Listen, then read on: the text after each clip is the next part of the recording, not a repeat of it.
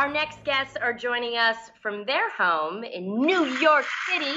Please welcome Sorry. our friends Remy Ma and Papoose. No, Hey, everyone.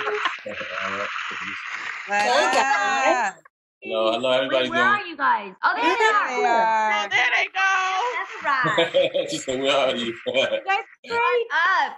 Welcome you to. Okay, now you have been taking quarantine very serious, and you barely left your apartment in a month. Is that true? yeah, A little bit over a month. How's it been going? Spending literally all of your time together.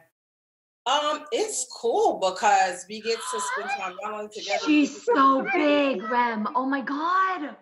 Beautiful. Guys, we were holding her when she was like this big. She was the last time you guys saw her. She was two months old. She's now sixteen months. I love it. And you guys, so you guys have been spending all your time together, and you're loving it. Is there any weird moments? No, I personally, I am thoroughly enjoying this quarantine. Um, I don't have nowhere to be. No one else has anywhere to be. Like I didn't organize my closet, color Yep. coordinated underwear, underwire bras over here, non-underwire Yes. over here. I love I'm it. like doing everything. But it's also giving me a chance to get super domesticated. I'm talking like breakfast, lunch, dinner, dessert.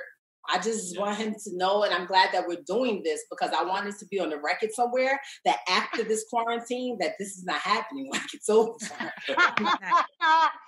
Enjoy it while it lasts.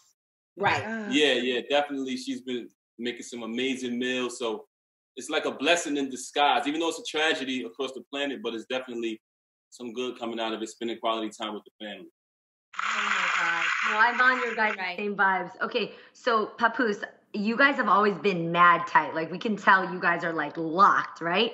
Is there anything during this quarantine though that you learned about Remy that you didn't know before? Yeah, one of the things that I, I did learn, you know, I hate to sound so greedy. I knew she was a good cook, but I learned that she's a great cook. But the simple fact that coincidentally I turned vegan right before this happened, and I was really struggling just going into different re- vegan restaurants, and some of them were good, some of them were horrible. But now that we've been stuck at home, she's actually been cooking some re- really great vegan meals, you know, and she's not vegan, so it's hard living with a person who's not vegan when you're vegan. But she's actually stepped up her cooking game on the vegan level.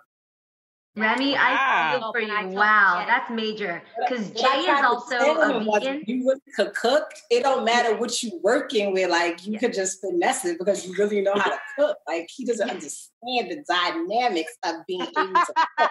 Some people, you know, they know how to make certain things or whatever. But if you know how to cook, you could just finesse it no matter what you make it. Right, right. In addition to just cooking, you're also known as Remy Martha. Now, has Remy Martha been uh, making appearances during quarantine? Um, Remy Ma is on vacation, and Remy Martha is running quarantine. I'm in here arts and crafting my little heart out. Every you know little thing I could think of because we have a one year old. As you see, she's very active, and um, they get bored after a while. So you have to do things to keep them entertained. I don't want her like she's not been outside. She hasn't been around any other kids, and she might get tired of us two old people in here with her all the time. So I'm trying to think of things to keep her entertained and little games that I make about. I be hiding snacks and stuff inside the pots and pans when I'm cooking. So while she's playing in my pots and pans, she'll find something like just little anything that I can like think of that that will help. First, before I ask my question, I want to say that quarantine is doing amazing things for your skin. You're glowing. You're giving us a quarantine glow. You. So There's that.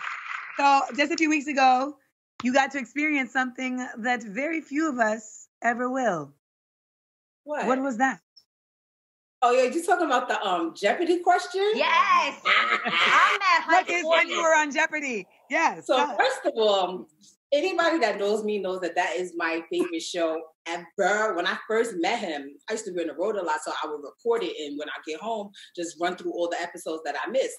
And I'd be sitting there watching it. And he'd be like, "Oh, you seen this episode before? That that's how you know the answers." I'm like, "Bruh, Jeopardy doesn't do reruns. Like, what are you talking about?" so he eventually, from being with me, he realized that I'm kind of know the answers. And he used to tell me, you should go on that show. And one day I'm sitting here and I'm watching my re- pre-recorded episodes that I missed. And it was like, and now, uh, Papoose bought this for Remy. I was like, Jimmy! Like lost my whole entire mind. It was just so Yes. crazy. I was so hyped. Yeah, it was a moment. That's so dope. So I heard that you got Remy a car. Yeah, um, actually, when she actually gave birth That to, was the question, right? yeah, yeah, They wanted to know what car did I get as a push present. Right, right. And they mentioned uh, Oh. at the time she had the baby, so that was my gift to her for giving birth to our child. But I feel like the celebration of the Jeopardy question and, you know, don't mention our car, it's only right that we get the new one that comes Well, out let, in let me ask you guys this: Exactly. I- I'm just saying. since the gift was due to the fact that she gave birth to our child, shouldn't we have the next child so we can get the next truck? which? Oh. Nice. It's the perfect time. to Mathematically- get working on it. They're out of quarantine present. Like No, if by September mathematically, we out, I can't you have push it. out of the time- apartment. Well, she's pregnant at least it'd be good enough. You know what? Because we actually we did in vitro, so we have we actually have a boy waiting because we we did in vitro. Yeah. So Uh huh.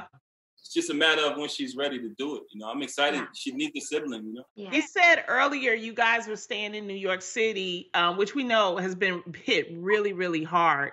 Um, do you have any thoughts about leaving the city? I mean, we we talk about it all the time. When it first like first like started getting really serious, we were wondering should we stay here or should we go to a house? We have a home in North Carolina, and it seemed like you know it was an option then, but then it started getting so bad that we were scared to even leave out with the baby. Like we're gonna have to stop the gas, and we're gonna have to stop the food because we definitely weren't getting on the plane. And then I'm like, then what if by chance one of us gets sick? Would we rather be in a small town in North Carolina or we want to be in New York City where they have all the resources? So, you know, we just thugged it out. We're like, you know, we're gonna we're gonna stay home. All her stuff is here, all our stuff is here. And we just made it so that everything that we need is here. But if it continues like this for uh, an extended period of time, Right. we we, we, we might go. Yeah, man. I, I, I mean, you know, safety is first. And initially, when this first, when the disease first started spreading, they were saying that it wouldn't be smart to relocate to another city because their numbers were actually going to catch up to New York's. But that never happened. You know what I'm saying? So if this continues to get worse, for the sake of our child and ourselves, we're going to have to, you know, consider at least going to stay down in our house down in North Carolina. Do you know anyone who has gotten sick? Yeah, a lot of people. A lot of people that Lot we know. people. You know, people. I have, I have one of my friends lost both of her parents within ten days. Um, we have No. that actually he he passed away, and it wasn't. It wasn't. Hold on, mama. It wasn't because of he didn't have corona, but the hospitals their main focus is anybody with COVID. So if you have anything else, you just sit. You're just sat to the side. And by time they got to him, he had passed away. So he was he was hold on. I know what she wants. She wants to eat. I'm, I'm yeah. Hold on. I, I cry when I'm hungry too. Also, uh, unfortunately, um, oh. unfortunately, um, one of my cousins actually passed away to coronavirus. She actually passed away from it. Um, you know, my uncle my passed gosh. away. Yeah, my uncle passed away. Like my wife was saying, you know, he actually had another condition, but he wasn't feeling well. Went to the emergency room. Long story short, you know, the hospitals are so focused on COVID nineteen that people who have other issues, they're not they're not really catering to them. You know, so it was kind of a neglect thing. But you know, you can't you can't really question God's plans. You know, we we stand strong about it. Um, I got tons of friend tons of friends and people I know who actually have coronavirus. So it's rampant. It's it's rampant. It, it's definitely hit home. yes, Mm. very. Remy, you've um you've been vocal about the disproportionate number of African Americans who have, you know, been suffering at the hands of COVID. Is there anything you want to Well, say about that? if, if you look at the the logistics, they're saying, you know, mostly African American, Latino, you know, the black and brown community are they have a higher mortality rate. But the underlying causes of COVID after, you know, it's, obviously it's lung or respiratory issues, but if you have any pre-existing conditions, that's what really exacerbates it. And a lot of people in the African American Latino community, to begin with, don't have good health care, yeah. don't have uh um what's the a, a doctor, that their primary caregiver. Primary care. mm-hmm. People don't be ha- people don't have primary caregivers. They don't have they don't even have the the sense of going to the doctor. I know so many people that walk around with toothaches, headaches, stomach pains until it's the actual point to where they can't take it anymore before they even go to a hospital because they can't afford it. They don't have health care to begin with. So a lot of times when people of our community and our culture, they they're walking around unhealthy to begin with. So when something like this happens, it's just like, you know, the the straw that broke the camel's back. So it's it's not a coincidence that our community was hit the hardest to begin with. We have bad health care and we have, you know, and women, period. Black women, oh, they don't even take our our pain seriously. We're the most misdiagnosed and undiagnosed out of all the genres in in sex. I think I think the neglect to the Black and Latino communities have a lot to do with it. Um, you know, the testing locations were set up in places like New Rochelle immediately, which is the richest county in New York City. You know what I'm saying? So now they're starting to you're starting to see testing sites in Black and Latino communities. But initially, from the start, we didn't even know where to get tested, and then they drive through testing. And the test everyone doesn't. Everyone doesn't have a vehicle, so. Yeah. Right. You know, I feel like the, the, the poor people were kind of left to die. Yeah. That's part of the reason why so many of us are passing away. And a lot of um, people from our communities are the now essential workers, the people who drive the trains and the buses and car services and who work in restaurants and grocery stores. So they had direct contact to so many people yeah. because of their profession as well. We just got to stay safe and take care of our loved ones. That's right. So we appreciate y'all for coming too. Yeah, thank, thank you for sharing a moment of your family with us.